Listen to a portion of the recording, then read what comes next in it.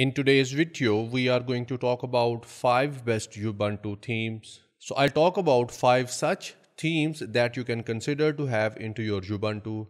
And no matter which version of Ubuntu you are using, you can use all of them in any one of those. So let's see what do we have. Number 1.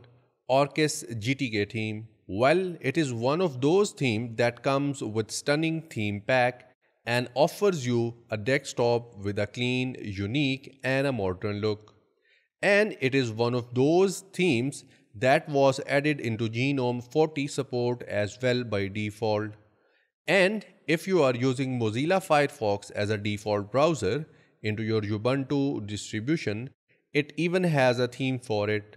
So it means you do not have to change the theme for your Firefox as Orchis GTK theme will do it on its own. And not only that, it comes with special icons and also offers you to have dark and light theme. So with the help of this theme, you can have lot of customization in terms of having different appearance, your icons, your top bar, your taskbar, your desktop and many more things. So I'll put the link in the description of all the themes that I'm going to talk about in this video so you can check them out. Number 2. Yaru Colors well, if you like Ubuntu 20.04 LTS default theme style, this theme might be exciting for you because with Yaru colors, there is no longer need to have to stick to the dated orange color scheme and try a wide range of colors of your choice as Yaru colors offer you to do so. It also offers you to have snap support. So in case if you are using any application that is based on Snap, where most of the other themes do not work properly, you can try Yaru colors. And with the help of that you will not see any problem.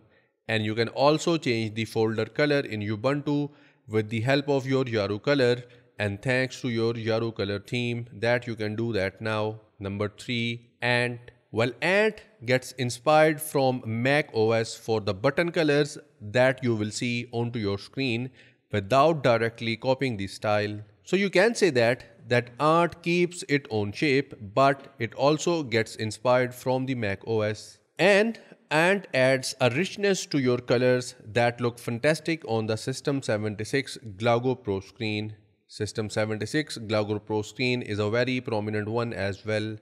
And the variation between the three themes option, I'm talking about Ant, Galago Pro Screen and Vmix, I would say that Ant is the better one of them all. And although it may not be the everyone's taste, but you should use it as it offers you to have very rich, slick, very clean and very customizable look. Number 4.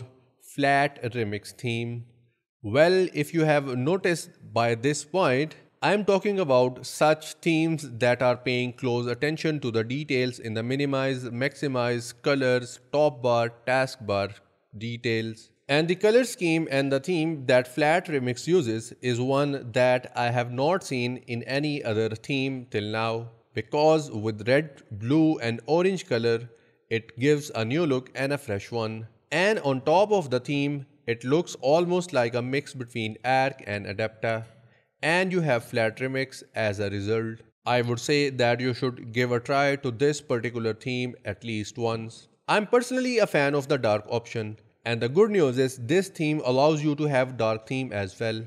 But the light one is also a very good one so it's all up to you that with which one you want to go. Number 5. WhiteSur. Well this theme is specially tailored for those particular user who like to have Mac OS like user experience on their Linux distribution, especially on Ubuntu. Well, obviously, this is not apples to apples kind of similarity, but somehow it is quite similar and impressive with Mac OS. And with the help of, or you can say with this theme, you also get a cursor theme, your icons theme, and a theme for your Firefox and Dash to Dock theme. So if you want to make your Ubuntu look good, you must try this one as it will allow you to have a look of Mac operating system. And that was all about the WhiteSur And that also brings us to the end of this video. I hope now that you will consider at least one of these to try on onto your Ubuntu. So if that is the case, please leave a like, subscribe and press the bell icon. I'll get back to you in the next video. Till then, take care.